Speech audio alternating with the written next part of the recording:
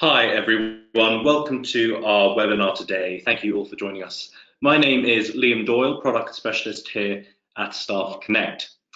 This afternoon, our webinar will be focusing on, how to improve the adoption rates of your employee app, where we will be interviewing Paddy O'Hagan, Internal Communications Specialist, who will be giving his insight and tips on the topic. So let me give you a bit of a background of our guest today. Paddy O'Hagan is an internal communication systems professional who began working with corporate communities as community manager and lead trainer for Europe at UBM, a 4,000 plus strong FTSE 250 company, undergoing a huge internal change from B2B publishing uh, house to B2B live events company. In this role, he was the liaison between the vendor and end users, he was also project manager for all strategic and implementation changes within the system. The main purpose of the role was to engage employees in the system, help them use it, and report on usage to the executive board. After this, Paddy went on to M, uh, MTG, a 4,000 plus digital entertainment company. Paddy's main role here was delivering a digital communication tool to all employees across all locations, including Sweden, Norway, Estonia, Lithuania, Latvia, Ghana, Tanzania, and the UK.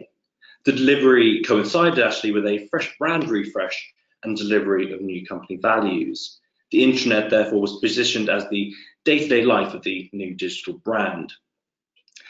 The success of this delivery drew many invites to speaker communications events worldwide, including actually the EU Communications Summit in Brussels in 2015.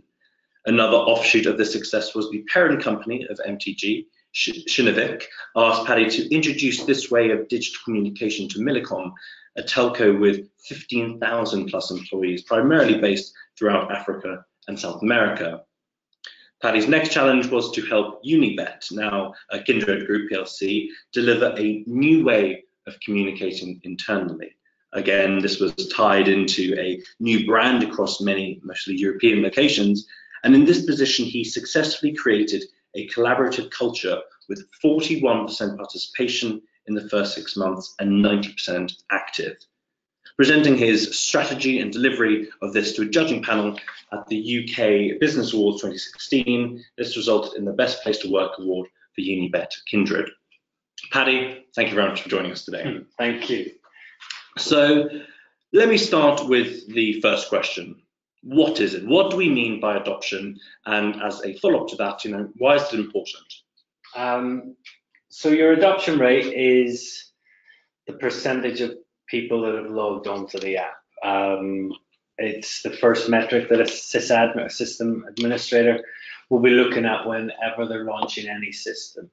Um, it's probably the first of a few milestones in the journey of an end user. So first you'll look at adoption, so they've signed in, that's adoption, they've you know logged in. Uh, the second would be the user finding value on the app. Um, and that's then becoming an engaged user. So engagement will be your second milestone.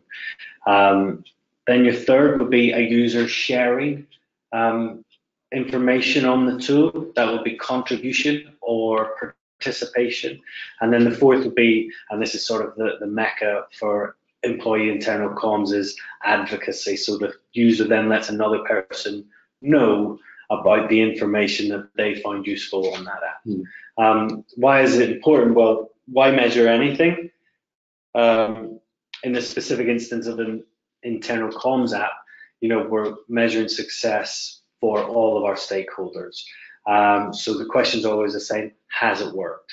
Um, have we communicated better than this with this tool than we did without it? Um, for the vendor, we need to prove that our tool provides a, strat, uh, provides a valid return on the investment laid out.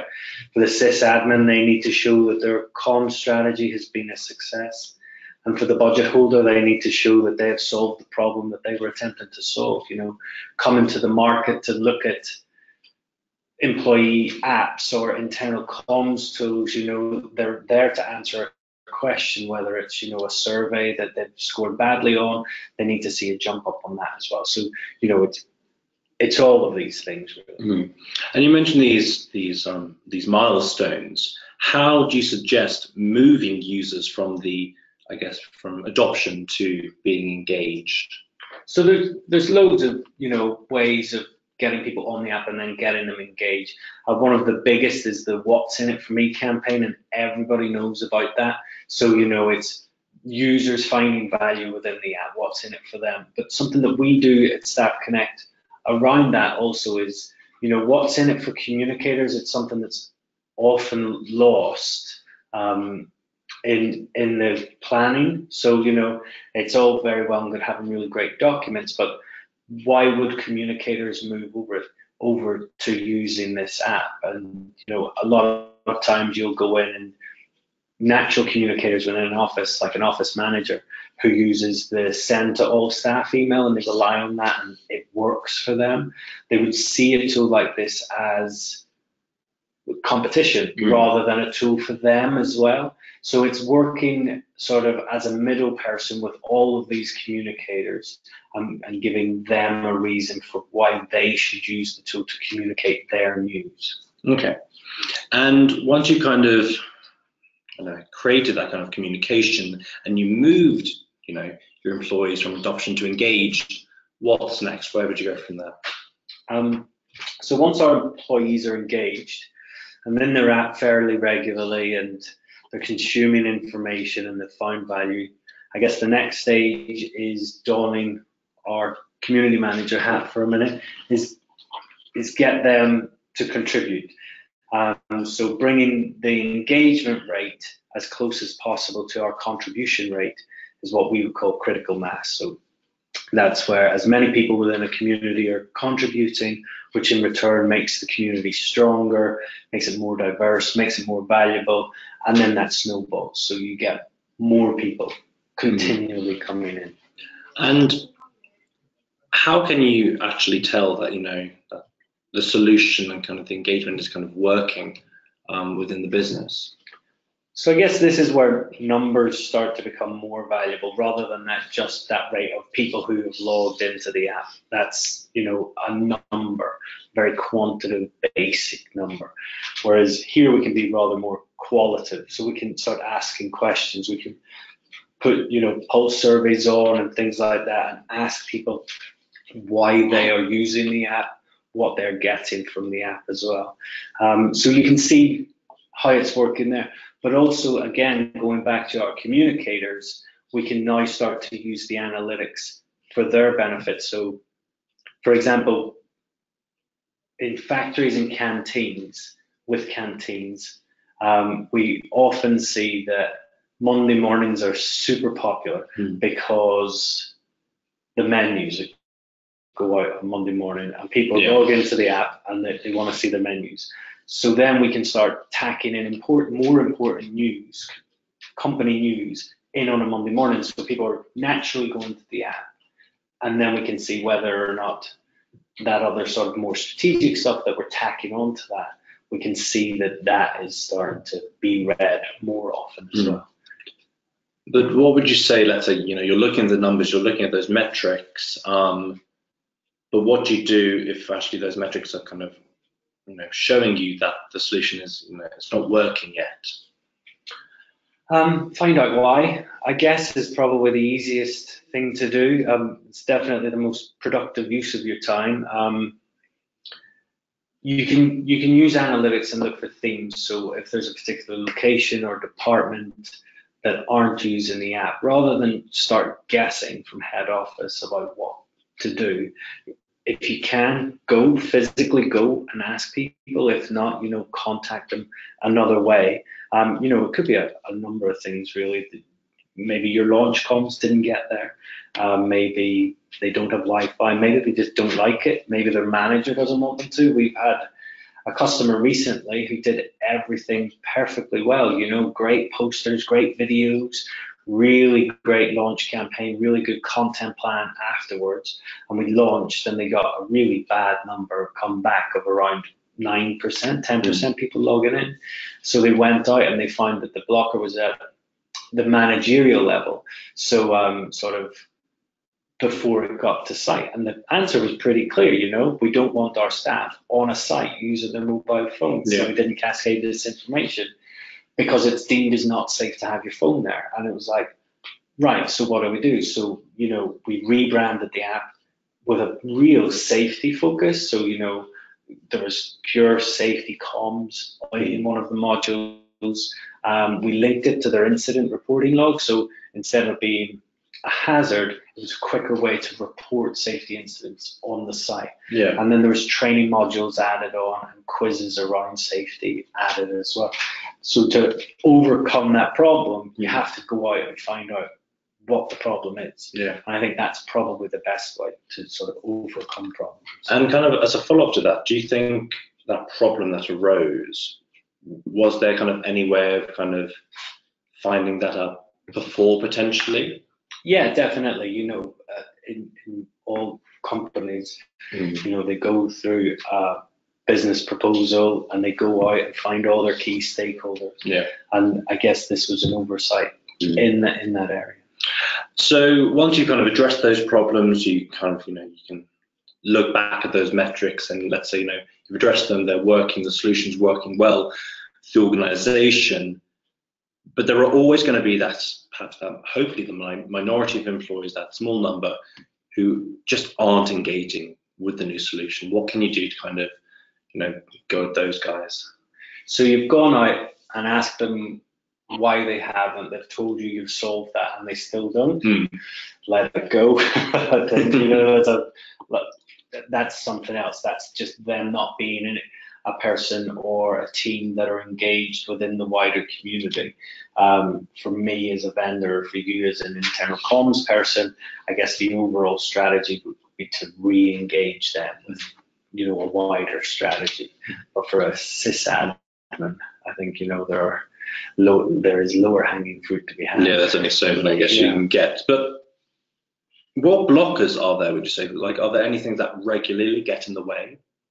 Um, yeah, lots of things. Um, you know, uh, I guess probably the thing that we see the most is a mistrust of the, the whole purpose of downloading an app Mhm. um, from the company. Some people just don't want to do it. Um, they don't trust the company, and you know, we have a technical solution of that, obviously. So you go onto a web version, and you can you don't have to download the app. You can Mhm. just access all the same information within a web version.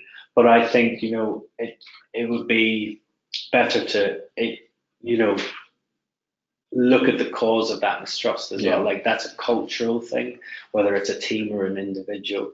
That is a cultural thing. And you would then sort of I would advise the comms team to engage with HR and say, you know, why are these people not engaged? Hmm. why don't they trust the company? Are there things? And is there are there things that we can do to help regain that trust? Yeah. So, looking, I guess, slightly further ahead, what would you say success looks like after a year, for example? Um, it depends on the customer, um, what success looks like. So again, going back to that question of why have they come to market? You know, is it because there was an all staff employee survey and they didn't don't feel that people knew the strategy enough? So again, you go back to that survey and find out if people know more about the strategy. Um, if it's, you know, we want to get people more educated on benefits that the company have because they're non-desk. We can't email them out, you know, the bike cycle to work scheme Yeah. or something like that. Have more people taking up that cycle to work scheme in those areas that you were targeting. So, you know, success is very different from company to company. So it's again going back to that initial first meeting. What do you want to do with this app? Where is your calm strategy for the, those? And then using the app as the tool. Okay. Okay. And obviously, so success is different kind of with the individual um, kind of organizations. Um, would that follow suit with the targets that you look to set, or kind of are, are there generic targets that you look to set for each company as well? Yeah, so targets are a, a funny one because things change within an organization within a year. So if you say, you know, we want to get 60% of people to download this app in six months. That's fine. But as soon as you start rolling out the app and as soon as it becomes more successful, Mm. somebody else, a senior person, will come in and say, You have an app. I have this stuff that I wanted to do. So that always changes. I would always try to go for more qualitative stuff like those all employee surveys and look for a, a metric that's already there. So we have a, a bottom line and try to beat that and what people expect, sort of, you know, of an increase as well. Mm. So And what can a what can a customer expect in kind of that in that first year in, in year one? Um, hard work, I guess, would be um, would be the thing. You know, it's it's one one thing to launch an app. It's another to make it successful for a whole year. There are natural peaks and troughs around the comms diary. You know, around Mm. quarter reports and stuff. There's lots of stuff to talk about. Um, and then at Christmas, it dies. You know, everybody goes on holiday, so there's no news, and it's sort of building that up. And I guess sort of having somebody who's done it a few times before, when you come back in on January 5th or whatever, hmm. and you say, "Oh my God, where is everybody? Why aren't they downloading the app?" It's Yeah. like it's okay. You just have to, you know, start again. So Yeah. what, what what's in our plan? Hmm. Who has things to communicate and stuff like that. And kind of after that year one, what comes after that? Like where, where would you go from there? Well, then hopefully you would have a mature community, right? So you could start talking about user generated content, um, sort of diversifying the workload. So it's not all internal comms. Start looking at other people around the business who might take ownership of, of different modules and things like that. So, you know, if you look at IT, what is on the IT calendar for next year? Are you releasing any new systems? Do you want a channel within the app and stuff like that? So Mm. it's again, it's sort of making that a little bit more diverse and making it lower touch. Hopefully, in the second year, you're not working as hard. Yeah, definitely. Well, um, thank you, Paddy. That's been, you know, really kind of eye-opening in terms of kind of moving from kind of that adoption to towards that engagement, those engagement levels.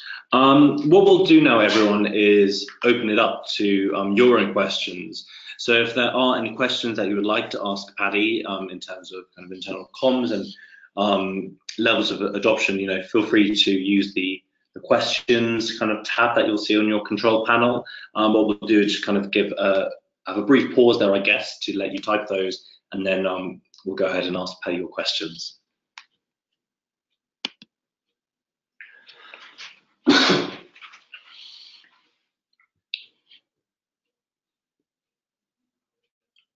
So we have our first question that's um, just come through. It's we use WhatsApp, even though we shouldn't. Uh, to be honest, many organisations do. Um, how would I get them to use your employee app instead? Um, yeah, great, good question. Uh, so WhatsApp uh, is a tricky one, right? So in in the world, if you need something, you'll go and find the tool to do it. So before, you know, internal comms tools had chat, WhatsApp was there, and people went out to use WhatsApp. I guess try to emulate the structure of WhatsApp as closely as possible and then give people the reasons for why they shouldn't use WhatsApp. So I guess, you know, if you're in a sales team, you don't have control over who has access to that group. It's one person rather than, you know, head office or HR and stuff like that. So, you know, find out what those groups are. So if it's departmental, create those chat groups within the app. And then if you're linked into an Active Directory system, as soon as that salesperson leaves, they're not a part of that chat anymore.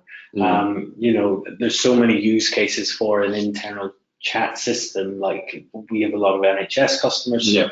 so we use that a lot with them because it's more secure.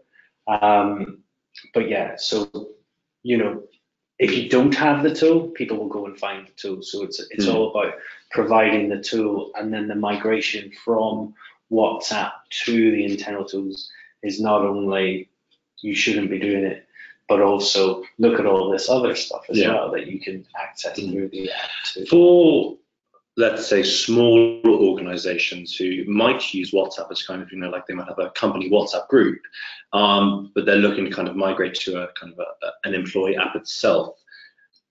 There might be concerns that, you know, moving it over, it might seem a bit corporate, slightly more rigid in structure, and it might potentially put employees off posting in kind of the, or kind of communicating in the new app. Are there any kind of ways you can get around that? Um, well, no, really, is the answer, but I don't think you would want to. I think that sort of structure around it is important. Um, you know, it's as corporate as your tone of voice within the app or, as a company, right? If you're a finance company, you kind of want it more corporate. Mm. If you're a charity with lots of young people, you know, working fundraisers and things like that, then you kind of want it more fun and there's emojis and videos and, and, Yeah. and, you know and all of those things. So again, it's all about the culture and it's all about the tone of voice. Mm. Um, but that sort of structure around it, I think you need to retain the professional Okay. business tool aspect of it. Uh, we have a question here. What is the biggest mistake you see within businesses when trying to launch an app with a client? Um, not planning for the whole year. Like Mm. it, it is a strategic launch where you have to go. The launch is important, and we need to get all of these people on. Mm. But once they're on, it's how do you keep them coming back for more? And I think you know you can you can put a lot of effort um, into that launch, and then not spend enough time afterward. Mm. Um, Kind of that short-term planning, not realizing there's a kind of a, the rest of the solution to use after launch. Yeah, exactly. Um, I've just, well, my partner has recently had a baby, and it's it's a bit like you know focusing solely nine months on the labour Mm. and then not on the actual baby coming home part, right? And that and that is exactly what it's like. Um, another question here: How do you shift employees away from the idea that the app is another form of social media, especially for those who don't particularly use or like the different kind of social media channels? Yeah, so I don't do social is you know what right up there. We have a slide on it in our Mm. launch workshop. Um, it's a business tool. It's a channel. You know, um, it's part of your corporate channel matrix. So there will be things that are specific to the app that you know are business related. So you know, pulse survey would be one of them. Mm. Um, and if somebody's saying, and usually it's, you know, more senior managers are saying, I don't, don't do social, I don't have Facebook. This isn't a social media tool, it's a business communication channel. And I think it's always super important to separate the two. And as you say, it is kind of that, you know, it is a business tool, but how can, you know, how can we explain or how can you explain to employees that, you know, this isn't just a tool? How can you kind of, you know, if it's just another tool, might they go to it? You know, how can they explain, you know, can it be more than just a tool? So that goes back to the content and, and every, everything that's within the app. You know, if it's just a chat forum where people are asking, you know, where shall we go to eat? Mm. then you know it's it's not really a business focused tool. And again, that comes into the strategy. It's why do you need this tool? Is it so that your business can be more social? Then fair enough. And then Yeah. you know people saying I don't want to be social, well, that's against the company Mm. culture and stuff like that. But fundamentally, we're selling to businesses with a specific use case. So you know, emboldening their brand DNA or uh, launching a new strategy and things like that. So it's really focused on those business goals rather than the, the more social aspect of it. It's using using social media skills that we use in our day to day life Yeah. to do business to do business. to do business. um, another question: um, How do we make content relevant for our users? We are a organisation of fifty thousand employees. How do we make it relevant? Um, so there, there- there's a few ways. Uh, 50,000 employees, you say. Um, we should give you sales' phone number. Um, but so yeah, you, you can make it pretty personalized um, to users. So you know you can create different categories of of permission groups. So if you wanted to go by location, department, hierarchy, language, things like that, like you can you can break all of those down and uh, down and create you know a pretty complex matrix where as a sysadmin you've got a hundred news feeds Um, but me as an end user, I'll only see one or two. So I'll see global news and then, you know, my local location or, or, or my language or whatever it is that you that you want to. So again, that's around strategy, how you want to uh, disseminate the information that, that that you're that you're pushing out. Mm. Cool. Well, um, I don't think uh, I think that's the question that we have from you guys. Thank you um, for everyone who did um, ask a question. Um, and I think we'll probably wrap it up there. Um, if you would, you know, if you're, you know, if you currently, if you guys have an employee comms project on at the moment, um, and you would like to find out more, or just kind of a kind of a, a general kind of inquire really around kind of employee comms, adoption, stuff like that, please uh, feel free to get in contact. Um, my contact details are all on screen um, now. Um, and you know, if there are, are, any other questions that you would like to ask Paddy, feel free to get in touch with me, and um, I'll you know, I'll rack his brain see if I get an answer back to you. Um, but yeah, um, I think we'll wrap it up there. Paddy, thank you very very much for joining and kind of um, giving us your expertise on the topic. Thanks for having me. Um, and thank you all for joining us as well. I hope you found it um, as interesting as, as I did. So um, we'll wrap it up there. I uh, hope you all have a good rest of your days and hopefully we'll be in touch soon. Thanks, guys.